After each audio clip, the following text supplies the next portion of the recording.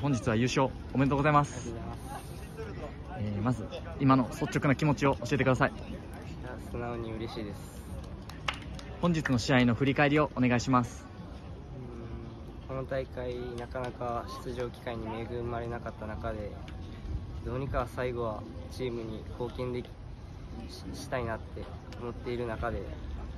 うやって得点っていう形で結果を残せたことは、まあ、自分にとってまあ最低限良かったなって思えることでまたこうやって形優勝っていう形でサポーターとスタッフと監督とチームメイトと分け合えたこと本当に嬉しく思います。優勝おめでとうございました。ありがとうございました